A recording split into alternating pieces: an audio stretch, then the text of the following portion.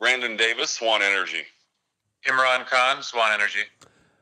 Thank you both for joining the program here today. Now, we're going to talk a little bit about mining money. And one of the email questions I got this week was somebody asking how to invest in oil wells. That's something they re- see rig counts, they see it in the news all the time.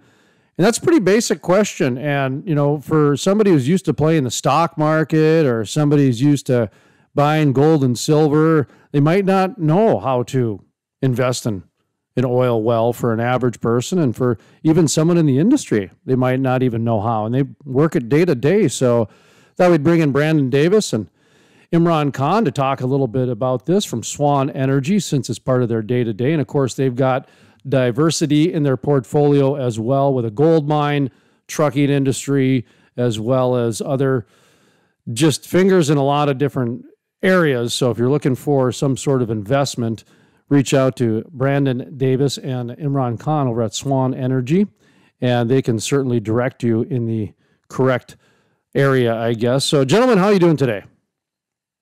Wonderful. Doing great. Well, It's can you? extremely hot in Houston. It's, it's very hot in Houston right now, I'll tell you. I bet it is. Boy, is it uh, is it cracked the century? You guys over 100? Yes. Okay, that's pretty normal day. Okay, good. Uh, well, let's get right. Real day in August for sure. Yeah. Well, I wanted to get to it here. I mean, you know, we're nearing getting close to school starting for a lot of people. They're going to get into routines.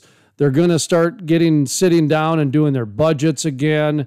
People are, you know, figuring out if the schools and all these different things, their unknowns are going to become knowns.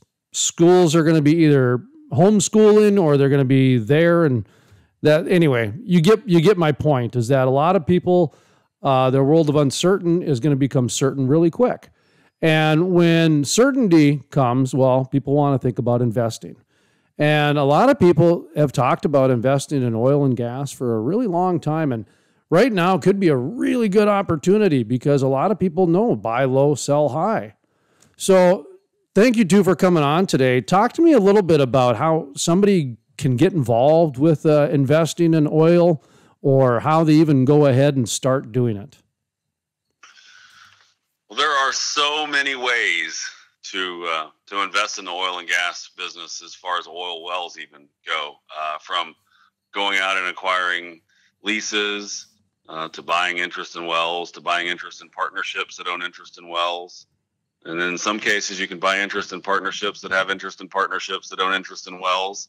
Um, it's there's a lot of ways to do it, and uh, the I don't know if, if, I can answer the what the best way to do it is. I think everyone has their own risk tolerance and time tolerance and how much effort they want to put into their investment um, tolerance, and that that is that varies from person to person to person. But as far as buy low, sell high, if you can find opportunities in the oil and gas business that work at the current pricing, I if it works cash flow wise, I it's hard it's hard to it's hard to find a bad deal right now because it's either a deal works, so it's it's a good deal because it works at this price, or it doesn't work at this price, and no one's going to do that. That just isn't going to happen. So a lot of the deals that depend on higher oil prices have kind of been um, put on the back burner, to say the least. Um, or in some cases, these guys have shredded them, write downs, and all those things that have been happening. Just we're done. Um, so there's there's a lot of good opportunities. There's just not as many as there used to be when oil was 70, 80 bucks. Um, but the current price point, there are lots of opportunities, and uh, we've been looking at them. We've made a few acquisitions for that very reason, and um, we're we're excited about what's coming on our our end uh, as far as new projects. All of them so far are looking like they're going to be in Texas, which is um, which is newer for us, but there's some just there's some great opportunities. So uh, we're not going to pass them up. We still have a, a lot of non-operated interest in Colorado, and we're going to continue to have that. But um, starting some new ideas here in Texas that look like they would work really well at this price point. So many people look at the stock market as the pulse of the economy when, you know, that's not necessarily the case. You've got, you know, gold and silver and treasury bonds and there's a, there's a lot of different things and and you know, the oil and gas industry is still a pretty viable place to invest in in a lot of different private areas. When I take a look at um, what's going on in the oil and gas area.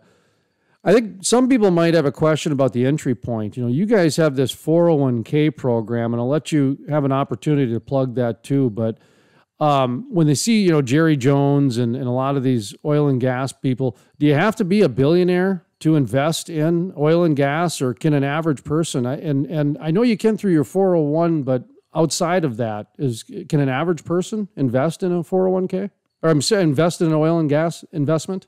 And uh, I don't know exactly what that means. Um, no, no offense. I, I don't know what an average person is. There are ways to get involved in oil and gas wells for most every person out there. So no, you don't have to be a billionaire um, to be involved in the oil and gas business.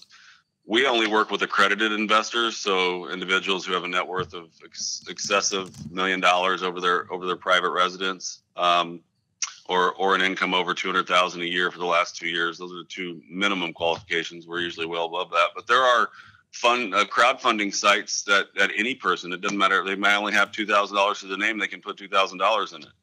Um, those there's out there and, and, those opportunities exist in real estate, um, oil and gas and and I'm sure it even happens in gold. I I've, I haven't seen I haven't found one, but it wouldn't surprise me. So there there is something out there for everyone, which is which is great um, the risk tolerance and, and level of, of risk someone's willing to take is important. Our our typical investments around hundred thousand dollars, so um, that's not for everyone. And when we talk to people about it, it's like if you can't afford to lose that money, don't do it because you just you never know what's going to happen in an oil and gas well. So um, that that's crucial for us. Is we we we don't want anyone in our projects that that can't afford it, and you got to be able to walk away from whatever you do and that's just how it is. I mean, it's no different than these big companies writing down, you know, eight billion dollars worth of assets to 500, 500 million. Um, it happens. You know, you don't always know what's coming. So the the business is risky in general.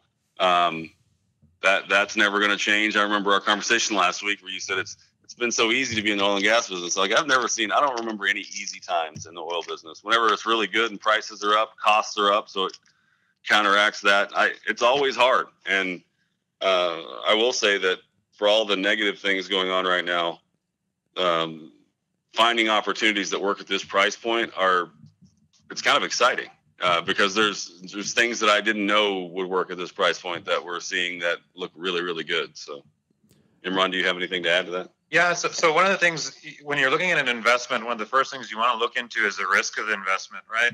Um, you know, and, and I think from an oil and gas standpoint, pricing is always a key factor there, right? What what is oil at? What is gas at? That, that's always important to be able to understand. Um, in general, right now, you know, with that said, you have to look at where the market's going. Right now, we've hit the bottom a few months back. You know, we've gone negative.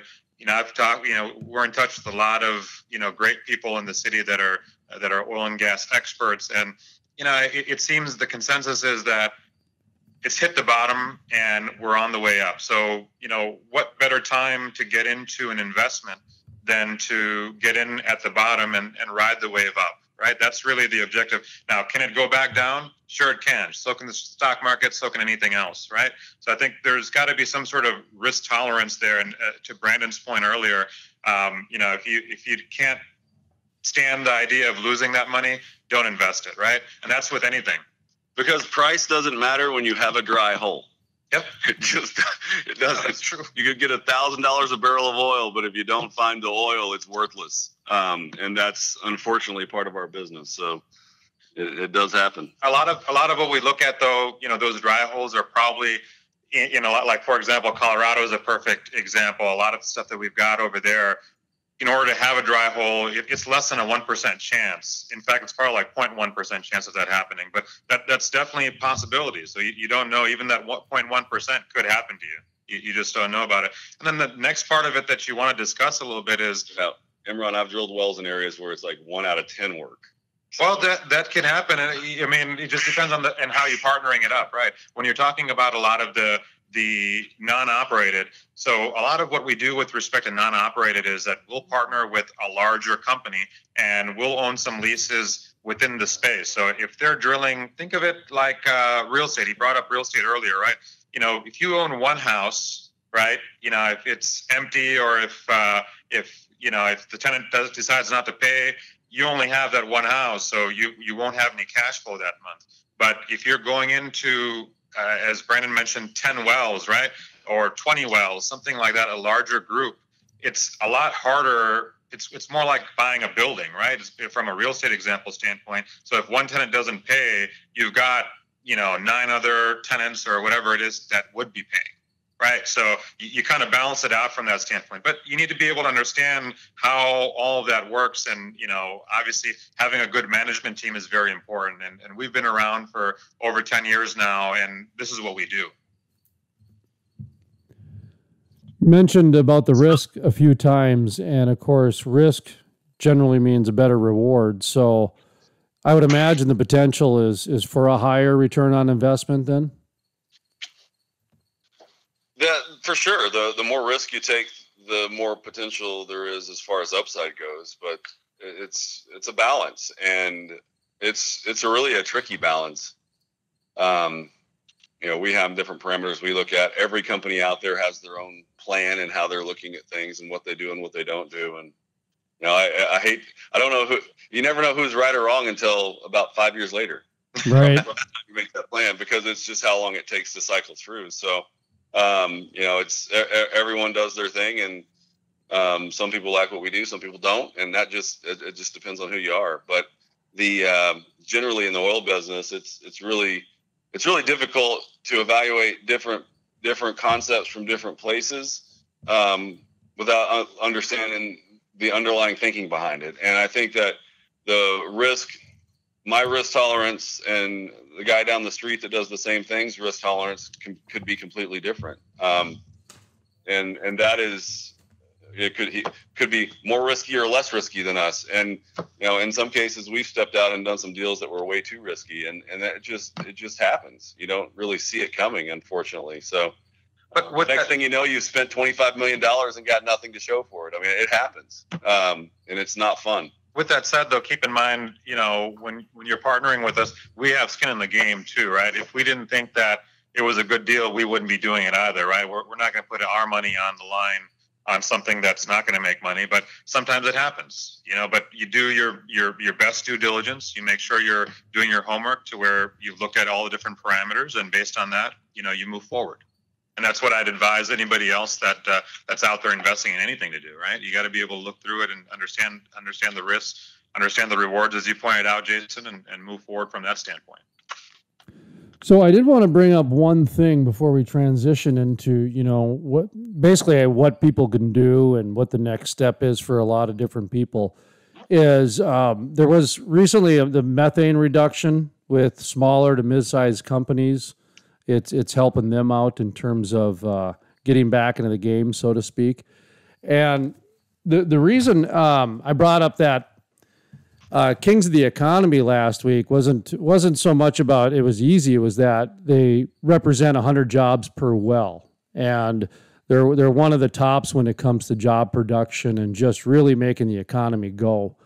And that was that was what I meant by it. And so when I look at the way that the system is trying to enable it to get back to work again, I would think that'd be pretty good to help satisfy some of the risk adversement, uh, if if you will. I'm not sure if that made sense, but to me, I kind of look at it like they're they're really trying to make sure that the oil and gas industry keeps moving along one way or another because so much of our economy is dependent on it.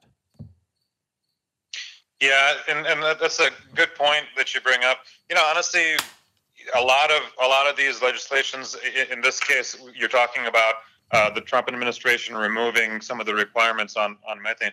You know, if you look at the the details for the last couple years of production and the the amount of methane being released, what you'll find is we've increased in the amount of production in America and overall, we've reduced the actual amount of methane on its own. Uh, it, this is just something that it's probably more of a political thing than anything else. That these things are out there from different administrations that that that uh, move on these subjects based on who their who their constituents are. But overall, I think it's good to be able to have less in these spaces from a regulation standpoint, just because you're right. You'll have more folks that are smaller companies that are able to be able to do a lot of the work that they need to do, right?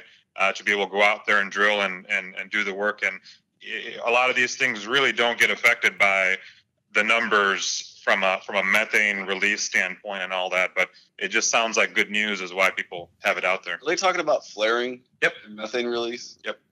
And no one wants to flare gas. It's worth something. Like what's it? Just sometimes you have no choice. But well, it's funny because they'll put regulations on methane, but also they won't allow you to uh, put uh, pipelines in. So it's like which you know which one? It's like okay, you don't want to put a pipeline in to be able to take that gas and put move it onto some sort of point where we can actually sell it. But at the same time, you don't want it flared either. I mean, you, you can't have your cake and eat it too, right? It doesn't make any sense to me.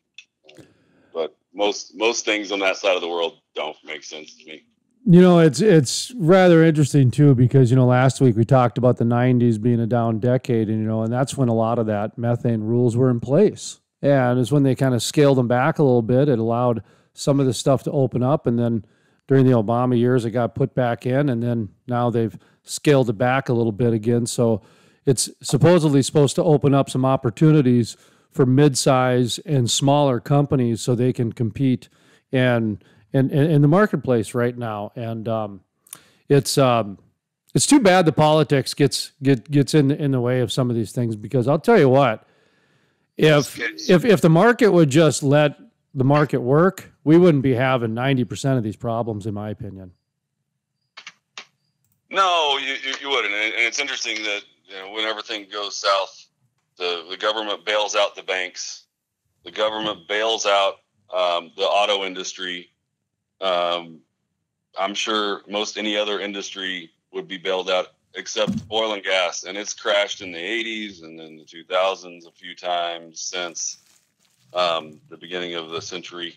And there's never been a bailout. There's never been anything, and I don't ever expect there to be. You just see fines imposed. All you get is more regulations to make it harder to make money instead of even you know staying out of the damn way. So um, it, it is a never. It's a. It's a never ending moving target is what it is, and it makes it um, makes it hard hard to make decisions in a small company like ours. I mean, you know, we we gotta we gotta say we gotta play it safe, and I'm sure most small companies do because you can't take the risk of something coming where the government comes down on you with something that you didn't even know existed. Um, so very cautious. Hey, I, I, got a really dumb question here. Um, you know, you guys, you know, take investors obviously, and and that's that's what you do, and that's why you're here is to help people make money and and understand opportunities. And um, the, yeah, we yeah we are the crude life, primarily oil and gas, but I guess my, my guess is you guys would have investors outside of oil and gas, don't you? I mean, there's a lot of farmers that listen to this program. I mean, we're across the upper Midwest on the radio, and Lord knows a lot of their radio stations haven't changed the dial in 45 years in their barn. So they're, they're list, I've, I've got them as listeners by default, so we'll take it, you know. But uh, uh, my guess is, you know, there's probably a few people outside of the oil and gas industry that are, that are listening to this over the radio airwaves. So uh, do you guys take investors outside of the oil and gas industry? Talk to me about, you know, who some of your partners are.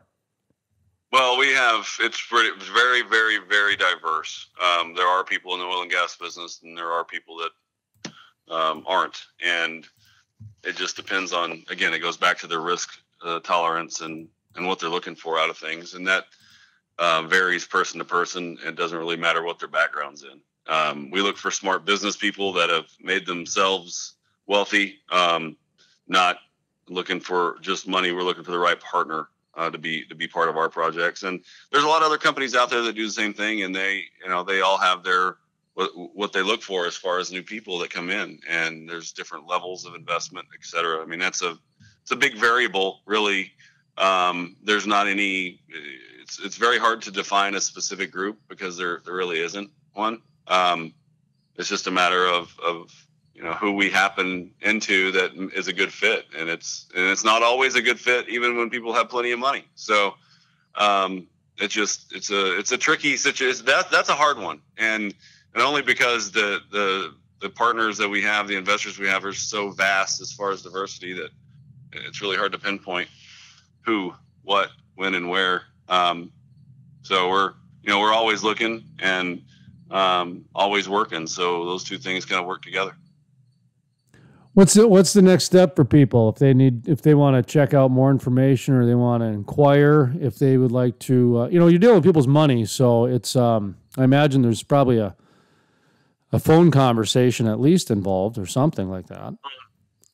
Yeah, our website, swanenergyinc.com, has a place people can go on to and ask for information and um, give us a little bit of information before we get that far to, to the conversation to make sure that that uh, they know what we what needs to be for us and and and we get some confirmation from them as to what they're doing. But you know, drilling wells, you can make money. You get tax deductions too.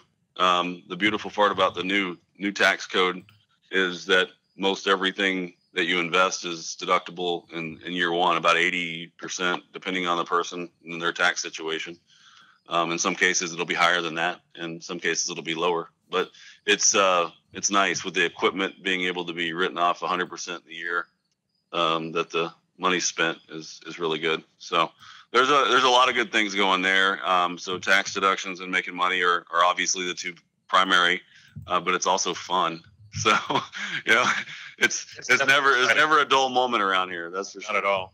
Not at all. And I think on the on the tax benefits part, just to kind of give a, a better understanding around that too for folks. You know, if you're if you're making two hundred thousand dollars, you're probably paying about fifty grand in taxes, right? Uh, maybe even more than that. Just depends on what what uh, what all you're doing. But if you're if you're paying that, you know, the idea is that you know why just give it away? You know, why not allow the opportunity to be able to make that money work for you, right? So instead of paying that out in taxes, now you've reduced the actual amount that you've invested with us and basically pay even less in taxes from that standpoint. So you know, and and we're no we're no tax advisors from by any chance. We're not accountants. You have to be able to talk with them to to get the full scope on things. But what we see from our investors is that you know they really do appreciate you know, come September, October, they're thinking, "Hey, man, I got, you know, I'm I'm in the whole, you know, hundred grand in taxes. How do I get some of that back?" And this is an opportunity for them. And I, I wouldn't do a deal just because it, it gives me tax benefits. I do a deal based on the fact that it gives me a good return. And you know, again, we're invested in all of our deals, so it's it's not that hard for us to kind of uh, talk about it and, and, and tell you that you know this is what we do and this is what we enjoy doing. And yeah it's exciting. I mean uh, every day that you know that i'm here i'm super excited to get up and, and come into work if that makes sense. And that's another important part to you know maybe even i don't know but if, if end on but at least point out again which is you guys are invested in this too. So you mentioned before that you've got skin in the game. And in today's day and age that is a really important piece of the puzzle i think well, that's important, right? Because you know, not only are we managing all of this, but you know, we're here and we're part of the deals that we're making. And I, think that that's uh, essential for people to understand that. You know, I think a lot of people kind of are are coming to it as, oh, well, you know, we don't want to lose money, and no, we don't either. we're here to make money, right? And you know, we've got a beautiful office off of the off of the freeway off of 59 in, in Houston and you know, it's because of the fact that we made good investments. It's because of the fact that we do good deals. Sure, there's there's deals that don't make money, but that's part of it, right? I mean, you know, kind of what I was talking about with the real estate stuff. You don't want to just have one house. You want to have ten houses because if one doesn't make it, you've got nine others that are making it, right? So it's the same concept, and that's how we try to set up our our investment strategy too with wells.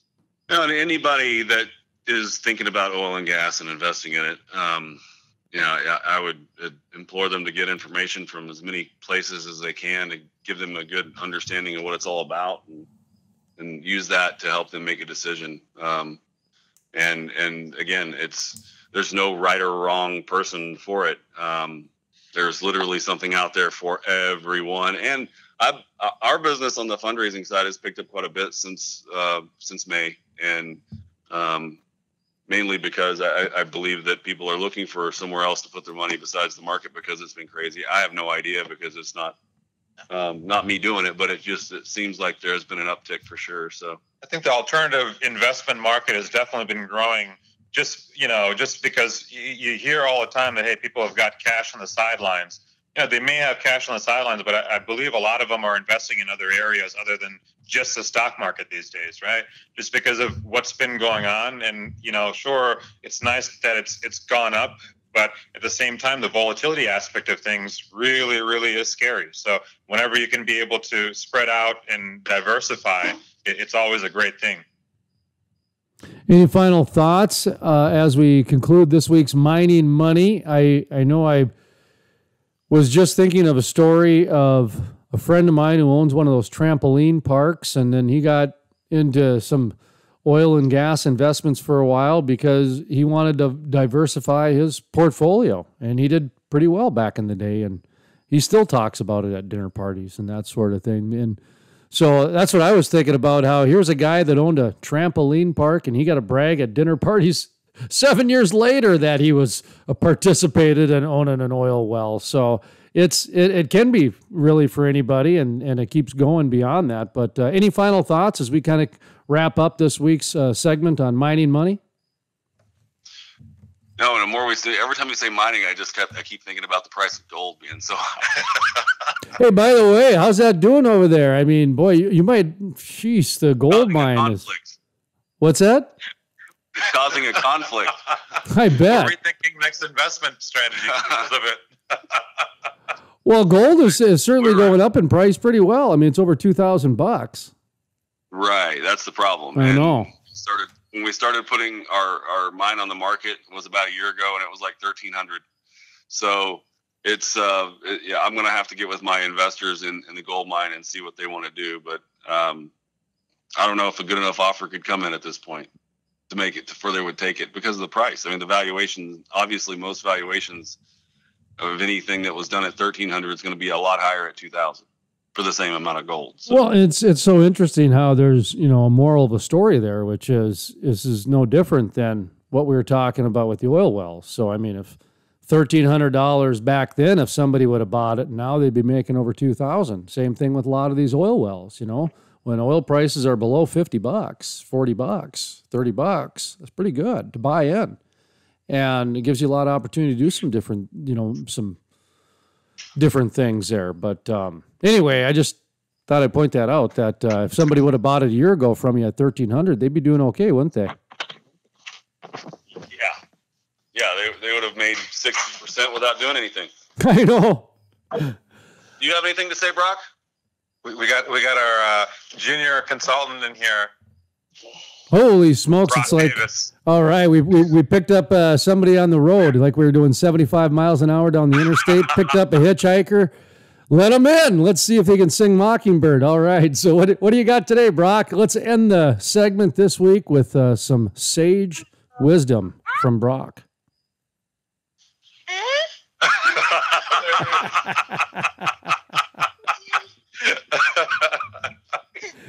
there it is. Uh, I think he said bye. I'm not sure, but okay.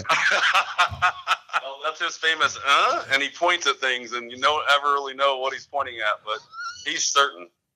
I tell you, I we got I got a dog under me. You've got Brock there. We got all kinds of different things here. This is a the the 21st century of the office is great. I tell you, it's definitely a different place than it was six months ago.